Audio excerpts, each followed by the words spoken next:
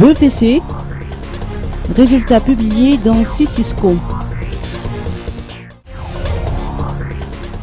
Quelques jours après la fin des épreuves du BEPC, les résultats commencent à arriver à compte-gouttes.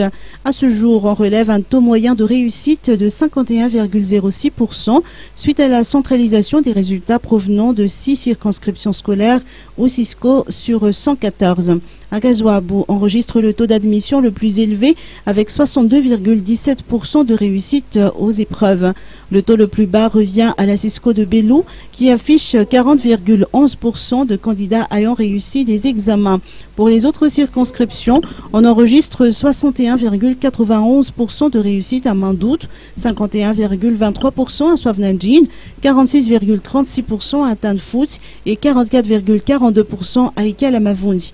En général, tous les résultats à ces examens devraient être publiés avant la fin de ce mois de juillet, à la veille de l'ouverture des épreuves du baccalauréat, selon les responsables.